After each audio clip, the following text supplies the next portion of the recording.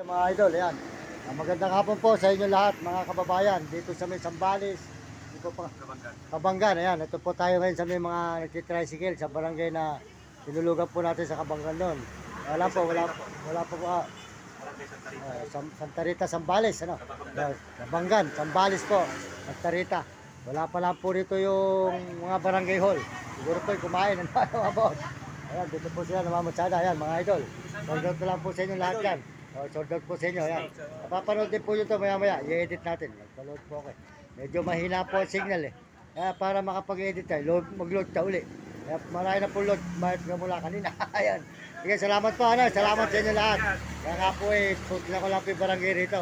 At mag-aantay ako. Dito na po ako magpapaumaga. Kaya hapon eh. Eh, napapagod na ako. Kailangan kasi, yung mga tinutulugan ko mga barangay, yan din nila yung mga tutulugan ko.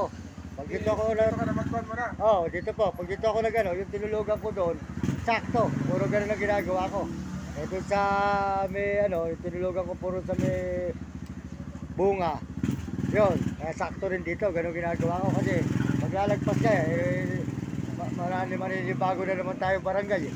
Maganda yung puro dati ang ating tinutulugan eh. Para kilala po tayo. Ano? Sige po, maraming maraming salamat sir. Ah, sa inyo ko na po tatapusin para makikita nyo sa YouTube. Ayan, para makuha po kayong lahat. Para makikita nyo sa YouTube. Ayan.